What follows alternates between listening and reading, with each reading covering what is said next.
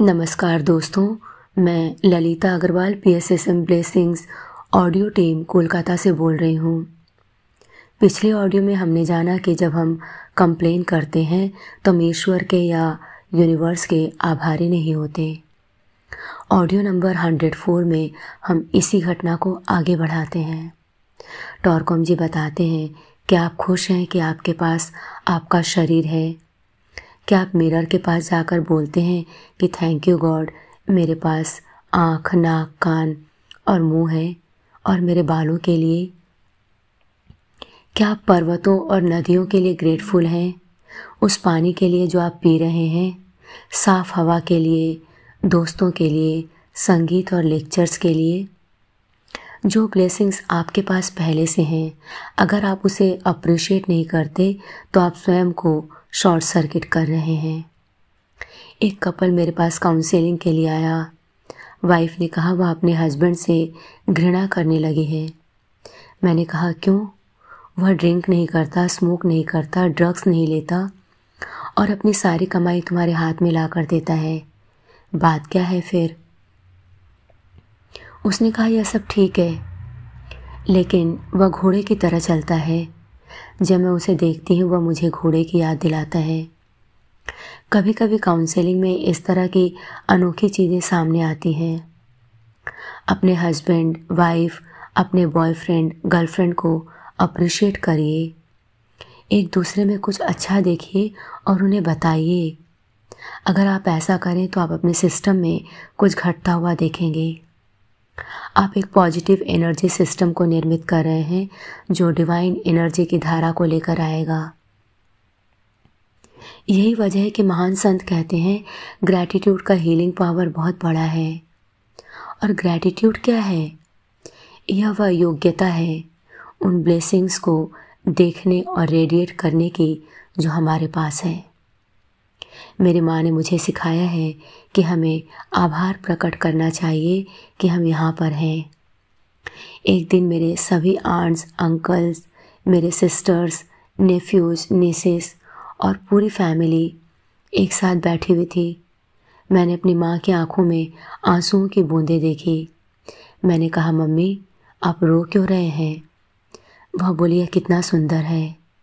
मैंने पूछा, क्या सुंदर है? वह बोली, हम सब यहाँ एक साथ हैं, है रूटीन?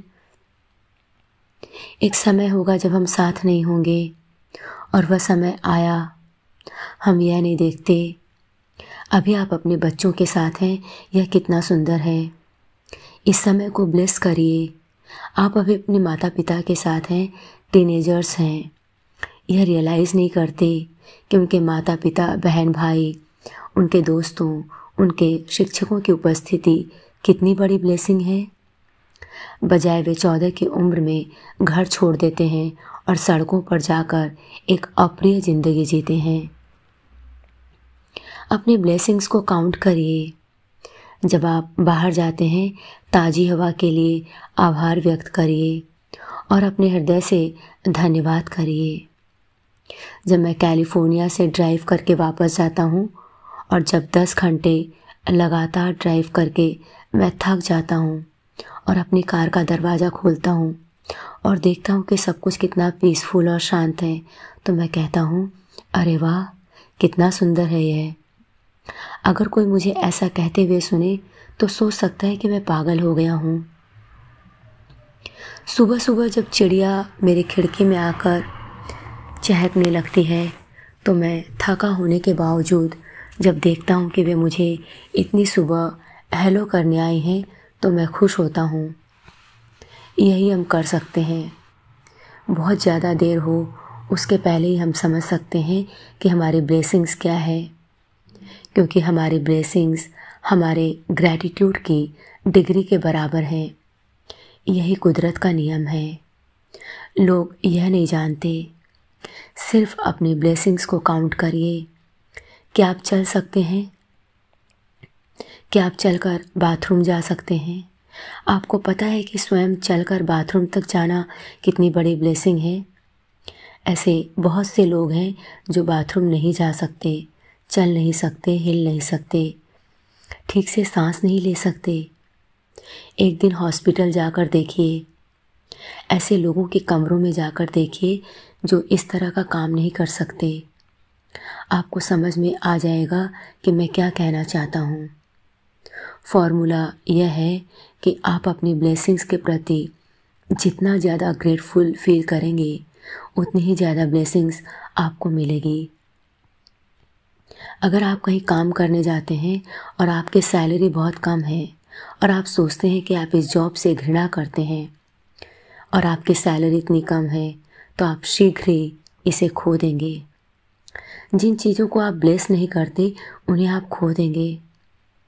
पहली सैलरी जो आपके पॉकेट में आती है, पहला जॉब जो आपको मिलता है, उसे आप ब्लेस करिए। और ग्रेटफुल रहिए कि यूनिवर्स ने आपको एक जॉब दिया है।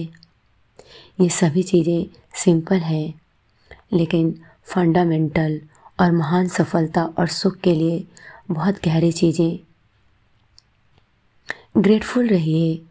जब हम पहली बार सेडोना में अपना सेंटर खोलना चाहते थे, लोगों ने कहा, मत जाओ। तीन लोग भी मीटिंग में नहीं आएँगे। लेकिन पहली बार ये दस लोग आए और मैंने उनको ब्लेस किया। मैंने उनको बहुत दिल से ब्लेस किया। मैंने कहा, थैंक यू। मेरी उम्मीद से ज़्यादा लोग आए हैं। हे ईश्वर, आप बहुत करुणावान हैं। मैं तो सिर्फ़ तीन लोगों की उम्मीद कर रहा था। आपने सात एक्स्ट्रा लोगों को भेजा। पाँच सालों तक हमारे पास इतने अच्छे लोग आते रहे। कभी कभी तो हमारे पास सफिशेंट चेयर्स भी नहीं होती थी लोगों के लिए। दूसरे समय मूवीज़ और टीवी ज़्यादा महत्वपूर्ण हो गए थे। लेक्चर्स के बजाय और लोग भूल जाते हैं कि ये सेंटर ब्लेसिंग्स लिटरेचर संगीत लेक्चर्स और सुंदर मित्रता का भी सेंटर है। इन सब चीज़ों को क्यों मिस किया जाए? अपने बच्चों को और अपने परिवार के सदस्यों को ब्लेस करिए और आपकी ब्लेसिंग्स उन्हें बेहतर बनने के लिए चेंज कर देगी। आप यह नहीं देख पा रहे हैं कि वे कितने अच्छे हो सकते हैं, लेकिन वे उस तरह चेंज नहीं होंगे जिस तरह या तरीके से आप उन्हें चाहते हैं। ब्लेसिंग्स उन्हें उस तरह चेंज करेगा जो उनके लिए अच्छा है। कभी कभी आप इसके विरुद्ध आक्रोश से भर जाते हैं और बोलते हैं, लेकिन मैं ऐसा चाहता था और ईश्वर ने ऐसा कर दिया। क्या आप ईश्वर से लड़ रहे हैं? वह आपसे बेहतर जानता है। आज के लिए इतना ही। अगले ऑडियो में हम इसी घटना को आगे बढ़ाएँगे। तब तक के लिए धन्यवाद दोस्तों। आप सभी का बहुत बहुत आभार। आपका दिन शुभ हो।